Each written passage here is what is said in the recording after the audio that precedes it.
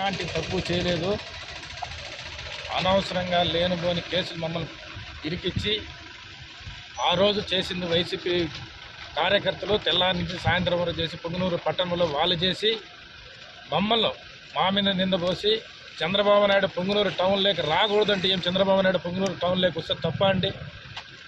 ఏం పొంగునూరు చేసిన ప్రజలు పాపం చేశారా?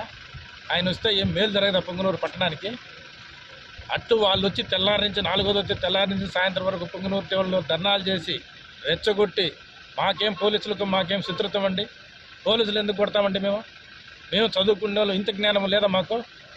పోలీసుల జోలికి మాకు వాళ్ళకి ఎవరు శత్రువు? అనంతపురం వచ్చినారు తిరుపతి వచ్చినారు కడప నుంచి పోలీసులు వాళ్ళంతా మాకేమైనా తెలుసునా? మాకేమైనా శత్రువులా? వాళ్ళకు మాకేమైనా బాగుందా? కేవలం ఇదంతా వైసీపీ నాయకులు మంత్రి గారు చేసిన నాటకం కింద మమ్మల్ని బలిపలుసు చేశారు. మేము ఈరోజు న్యాయస్థానాలకు వెళ్తున్నాం. మేమే మా కార్యకర్తలు ఇబ్బంది పడకూడదు. ఐదు వందల మంది కార్యకర్తలు కుటుంబాలు వాళ్ళ పిల్లలు వాళ్ళ భార్యలు రోడ్ల మీద తిరుగుతా ఉన్నారు. మేము చట్టాన్ని గౌరవించి ఈరోజు లొంగిపోయి న్యాయస్థానంలోనే మనం మేము తెలుసుకుంటాము